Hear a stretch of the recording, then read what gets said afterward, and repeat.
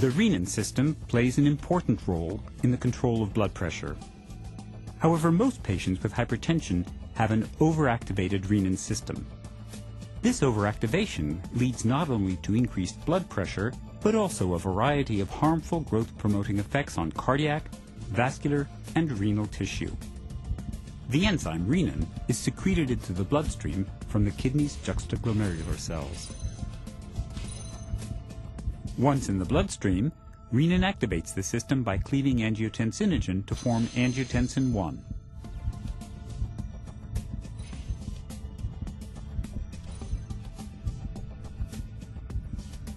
Angiotensin 1 is then cleaved by the angiotensin converting enzyme, or ACE, to form the active peptide angiotensin 2.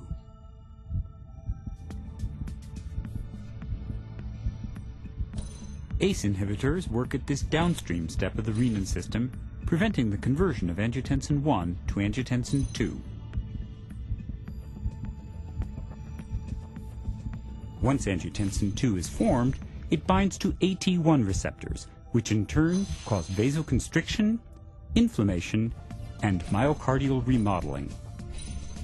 Angiotensin receptor blockers, or ARBs, work here by preventing angiotensin 2 from binding to the AT1 receptor. To provide optimal blood pressure management, new antihypertensive therapies should provide greater renin system control. Experts have long believed that directly inhibiting renin at the beginning of the renin system presents an intrinsically logical approach. A direct renin inhibitor would effectively reduce the formation of all downstream components, including angiotensin 1 and 2, for superior blood pressure control.